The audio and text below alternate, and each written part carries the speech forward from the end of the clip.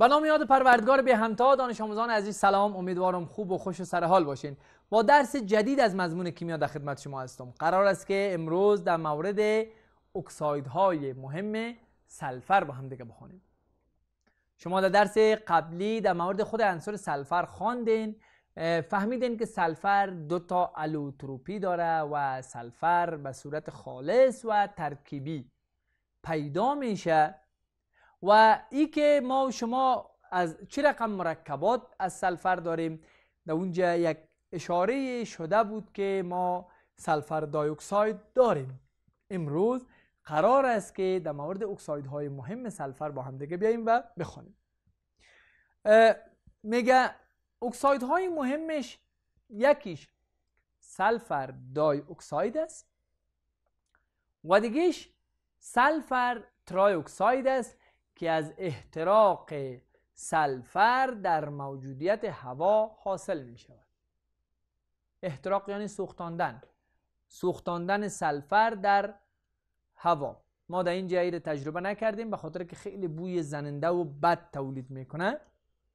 و این باید یک فضای سرباز یک جایی که باز باشه تجربه شود که بویش باعث اذیت میشه آزار اذیت می‌کنه. خب این تعامل رو می‌خوایم نوشته کنم من برای شما ازا و توضیح بتم که چگونه این سلفر دای اکساید و به چه ترتیب سلفر ترای اکساید به وجود آمده.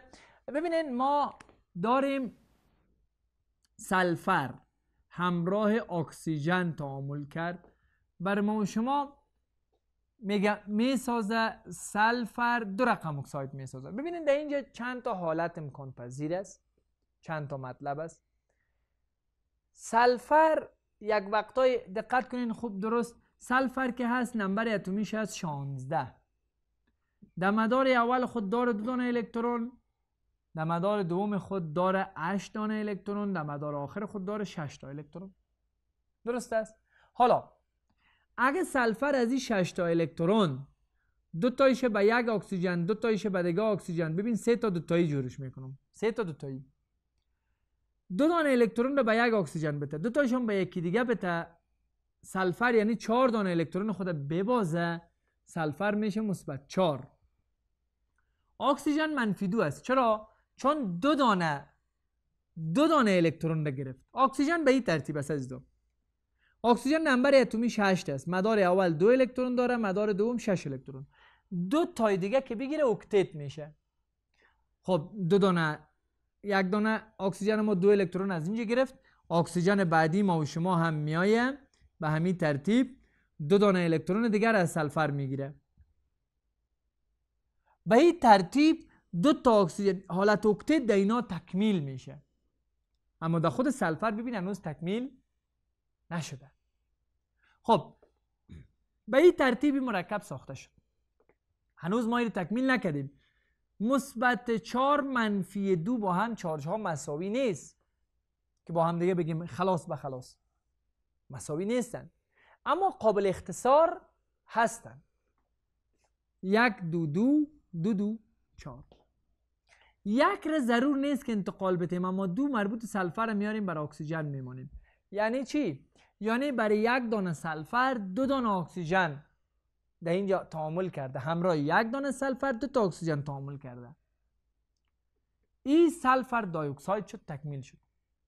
این حال سلفر دایوکساید اگر در هوا بازم با اکسیژن تعامل کنه می‌تونه سلفر ترایوکساید بسازه. اگر ای باز با اکسیژن تعامل کنه میایه بر ما و شما می‌سازه سلفر ترای اکساید چرا ایره می‌سازه؟ دلیل علمی داره.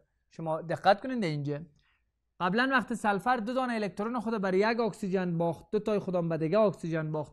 دو دانه الکترون در خود سلفر هنوز باقی بود. که حالت اکتیت از هنوز پوره نشده. حالا اگر اکسیژن سومی بیاید این میره اکسیژن سوم به خود می‌گیره. هم حالت اکتیتش تکمیل میشه هم اکسیژن ها پس سلفر دو دانه اکساید مهم داره عزیزا. یکیش سلفر دای اکساید دیگه سلفر ترای اکساید. بریم با هم موضوعات بیشتری را در مورد از سلفر با هم ببینیم. یک مقدار در مورد تبدیلات برای شما گفته میگه که تبدیل سلفر دایوکساید به سلفر ترایوکساید یک تعامل اگزوترمیک و خود به خودی بوده. دلیلش چی است؟ اگزوترمیک و خود به خودی یک تعامل زمان میشه که خود تعامل خواسته باشه که تعامل یعنی خود مواد علاقمند امی تعامل باشه. خود مواد بخواه که تعامل صورت بگیره. در سلفر دایوکساید همین خصلت وجود داشت. می‌خواست با اکسیژن بیشتر تعامل کنه تا سلفرش اکتیت شود. پس وقت سلفر دایوکساید به ترایوکساید تبدیل میشه این تعامل اگزوترمیک خود به خودی است. اما ما انسان ها می‌خواهیم تعامل ما در وقت کمتر انجام شود. به خاطر سرعت تعامل وانادیم و یا پلاتین من حیث کتالیست استفاده میشه. اینا رو فقط به خاطر از این استفاده می‌کنن کتالیست ها را که سرعت تعامل رو بالا ببرن. در اینجا هم معادله که داریم. سلفر دایوکساید همراه اکسیژن سلفر ترایوکساید رو بر ما ساخته. دلتا H مساوی به منفی 98.3 کیلوجول بر مول چی معنا میده؟ دلتا H یعنی تفاوت انرژیش. منفی اینه قدر کیلوجول بر مول یعنی اینه قدر انرژی از هر مول خارج میشه. هر مول سلفر ترای اکساید وقت ساخته میشه اینی مقدار انرژی آزاد میشه. چون این خو اگزو ترمیک است. اگزو پس انرژی را آزاد می‌سازد عزیزان سلفر یک عنصر غیر فلزی است اکسایدهایش هم اکسایدهای غیر فلزی است اکسایدهای غیر فلزی وقتی با آب تعامل کنه برای ما و شما تیزاب می سازن تیزاب های مهم سلفردار اینی تیزاب ها هستند خب سلفوریک اسید مهمترینشان می‌تونیم بگیم در بتری موتر استفاده میشه. سلفورس اسید دیگه تیزابی که ما شما داریم. فقط تفاوتش در است که در اینجا چهار اکسیژن در اینجا سه اکسیژن. در سلفوریک اسید سلفر از نمبر اکسیدیشن مثبت 6 اما در سلفورس از مثبت 4 استفاده کرده. پروکسی سلفوریک اسید. در اینجا اکسیژن بیشتر وجود داره. رابطه پروکسی است. H2S2O8 پایرو سلفوریک اسید. یک چیز ناگفته نمانه پروکسی سلفوریک اسید مرکب بی ثباتی است. در کل پروکساید ها پروکسی مرکب بی ثبات رابطه بی ثبات است. تجزیه میشه. پایرو سلفوریک اسید که به نام سلفوریک اسید غلیظ هم بعضا ایره برای ما و شما میگن. خب اینا چگونه تشکیل شدن؟ میریم با همدیگه اینا را در تخته کار می‌کنیم. دقت کنین شماها. ما و شما در اینجا داریم اکساید غیر فلزی که هر گاه همراه آب تعامل کنه بر ما می سازد تیزاب تیزاب ها دو نوع است. اکسیژندار بدون اکسیژن. اینجا تیزاب اکسیژندار ساخته میشه چون آب هم اکسیژن داره. خب اکساید هم خوبی از اکسیژن داره. شما اگر در نظر بگیرین در اینجا سلفر دای اکساید را و به همراه آب ایره یک جای کنین. حالا خوب دقت کنین که چی اینجا رخ میده. در اینجا ما و شما تیزاب مربوطهش می‌خواهیم نوشته کنیم تکنیکش براتان یاد می‌تونم که خیلی ساده برای کل تیزاب ها همین قسم کار میشه. هر وقت یک اکساید غیر فلزی که آب براتان دادن به این ترتیب کارش کنین. ببین بسیار ساده است. اول هایدروژن ها رو نوشته کو. هایدروژن ها یک ترک است. یک رای ساده. بعد اکسیژن های تا آخر نوشته کو. چند تا اکسیژن دارم؟ یک تا اینجا دو تا اینجا. مجموعا سه تا. بعد می عنصری که از هر چند تایی که از این وسط نوشتهش کن. این تکمیل شد. سلفر ترایوکساید را اگه کده آب یک جایی کنیم. اول هایدروژن ها آخر اکسیژن ها مجموعهش چند تاست؟ چهار دانه سه دانه و یک دانه. در مابین هم عنصر غیر فلزی ما هر چند تایی که بود. سلفوریک اسید. اگر عزیزان همراه سلفوریک اسید همراه سلفوریک اسید سلفر ترای اکساید بیشتر تعامل کنه. سلفر ترای اکساید بیشتر تعامل کنه. باز ای به پایرو سلفوریک اسید تبدیل میشه. چه قسم؟ ببینین. هایدروژنایش خودش سلفر با سلفر یک جای شوه. دو دانه سلفر چهار تا اکسیژن با سه تا یک جای شوه. هفت دانه. پایرو سلفوریک اسید. و اگه ما خواسته باشیم سلفوریک اسید را غلیظ تهیه کنیم در بازار همین کارو می‌کنن. کارخانجات که تیز مواد کیمیاوی می‌سازن سلفوریک اسید غلیظشان از این قسم است. باز ما آب درش اضافه کنیم آب در اضافه کنیم پس به این حالت می‌تونیم میل تبدیل کنیم. قسمی که حالا من میرم اینجا برای شما یک بار نشانش می‌تونم دوباره پایرو سلفوریک اسید داریم. همراه آب اضافه یک جای شود. رقیق میشه. ببینین در اینجا ای دیگه تجزیه میشه. تبدیل میشه به H2 یک دانه اسم ما اینجا میمانه چهار دانه اوی ما مثل قبلی. اما یک دانه یک دهی اضافه شده بود پس با آب اضافه یک جای میشه. H2 SO4 سلفوریک اسید رقیق به دست ما شما میاد این در مورد تیزاب های مهم سلفر بود عزیزان و در اینجا هم ما یک نکته داریم.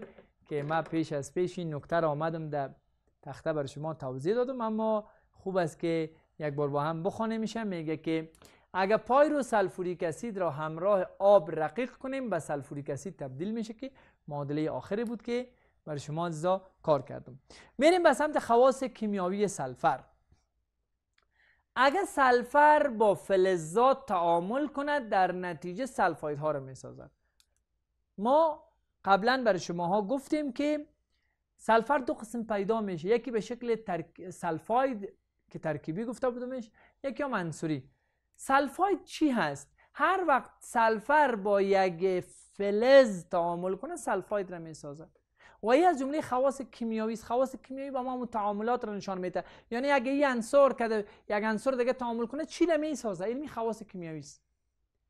به این ترتیب کدش یک جای شده سلفر برای ما شما سلفاید آهن را ساخته بیایم با هم در اینجا تعاملش ببینیم. چه قسمی تعاملش امکان پذیر است؟ سلفر را همراه آهن شما یک جای می‌کنین. خوب مخلوطش می‌کنین. کاملا که مخلوط شد. باز می‌تونین که ایره یک بهتر از یک کاشی باشه یا یک, یک چیزی که نسوزه. از بین نره خالیش کنین و شما باز می‌تونین که برین یک دانه میله را یک میله شیشه‌ای یا قاشق فلزی فرق نمی‌کنه. گرم بسازین میشه. حرارت بتین تا گرم شوه حالا اینجا یک میله شیشه ای اینا استفاده می‌کنن.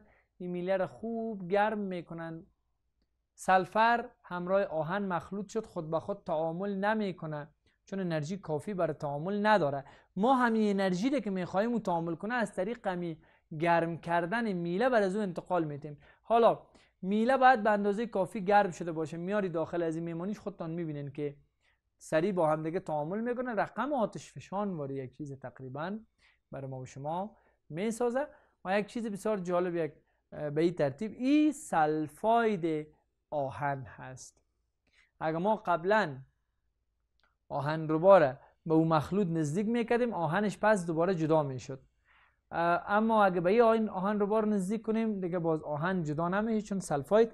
و ای که من می‌گفتم که برای شما گفتم که حتما یک سر یک کاشی باشه یک چیزی که نسوزه به خاطر که باز این رقم حالت رخ میده. ببین اگه سر تخته بود باز به این ترتیب بود از بین بردین خرابش کردین. خب عزیزا اینی بود از درس امروز ما شما. ما در مورد سلفر و خواص کیمیاییش با هم دیگه آمدیم کار کردیم اکساید هایش هم با هم دیگه خواندیم. امیدوار هستم درس یاد گرفته باشین. تا روز آینده که با درس جدید در خدمتتان هستم. همگیتان رو به الله یک تا. میسپارم